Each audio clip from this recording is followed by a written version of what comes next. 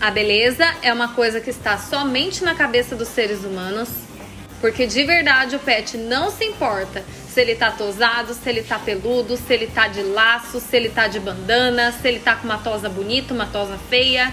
O que ele quer é aproveitar a vida e ter qualidade de vida. Se eu pudesse falar alguma coisa pro Pedrinho, seria o seguinte: Pedrinho, meu terrorzinho aqui do pet shop.